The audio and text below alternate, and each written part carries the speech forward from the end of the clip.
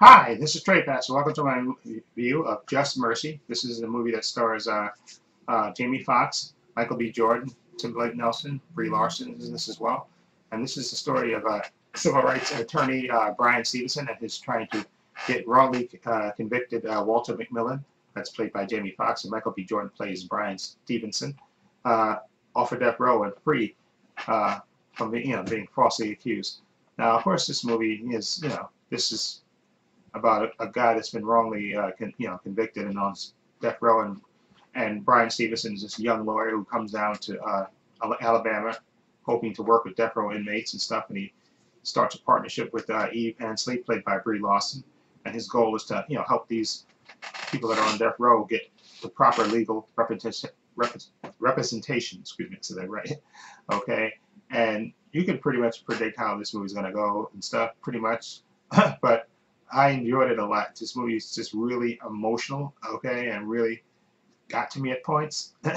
and I mean, it's well acted. I thought uh, Jamie Foxx's Walter McMillian was fantastic in this, and as was Mike uh, Bryan Stevens. Oh, excuse me, Michael B. Jordan as Bryan Stevenson, and this is a real life person who actually works with uh, death row inmates and stuff. And he worked on actually freeing and giving representation and in helping a lot of death row inmates get clemency. And this story is just the way it plays out is really, like I said, you can pretty much predict how a movie like this is gonna go and stuff. You know, there'll be highs and lows and stuff, but I enjoyed the drama of it. It's just really heart wrenching in spots, and really, and you got to be cold in the heart not to get all emotional when things happen. And that sure they manipulate you into feeling for stuff, but it got to me. This movie just got to me as well about, and it just really as black man too is it you know you know all the hurdles that let's face it that black men face in this country at times and stuff and the stuff that you know black men had to go through in the past and they still go through today.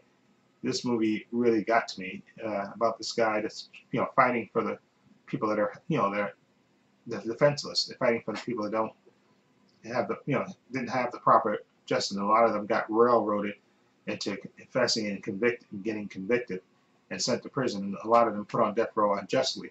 And this movie is basically about that guy, you know, that lawyer, Michael, played by Michael B. Jordan, Bryan Stevenson, and what he did in his work, particularly in this one case with Walter McMillian, who was, again, falsely accused, okay, and on death row, and him fighting for this character. And I enjoyed it a lot. Again, like I said, this movie, they manipulate the hell out of me with the emotions, and it got to me. I mean, I, I was tearing up a lot throughout this movie. It just really got to me with the emotions and stuff. And like I said, you can predict what's going to happen in this movie, but seeing it play out and there's but one particular thing that happens in the beginning of this movie, uh, well not in the beginning, like towards the middle of it, okay, with one particular inmate that's just, again, had me on the verge of bawling. Again, I have to say, I know this machine, this movie is meant to do that, to manipulate you into that, but it, it got to me. And this uh, this movie it put me through all the emotions and stuff and it's just really good and I enjoyed it a lot okay? Just sure I can predict what's going to happen in this but you just got and a special mention to a particular actor uh, uh, Rob Morgan who plays Herbert Richardson one another another inmate in this story he will get trust me you got to be a cold in the heart not to get to his his portrayal of that character Herbert Richardson and what happens to his character just woof, just again put me through the emotional ringer. This and ugh, it got to me. I enjoyed this movie a lot. It, it played on my emotions and it, and got me to where it had to get me. And that's all a movie's supposed to do: get you, make you emotional, and get you invested in it. And this movie did do that to me.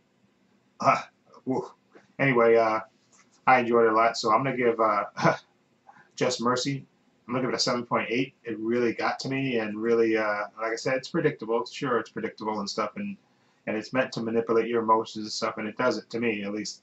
But it's still enjoyable to watch, and good performances by the characters and the actors in this. So I enjoyed it a lot, and I would definitely recommend it. Anyway, let me know what you think. If you've seen Just Mercy, what do you think of it? Uh, feel free to leave comments down below. I have links to my social media in the description box, Facebook, Twitter, Instagram. I also have a link to my other channel called Views and Opinions. Please check that out as well. And this is Trepacer saying so long and take care.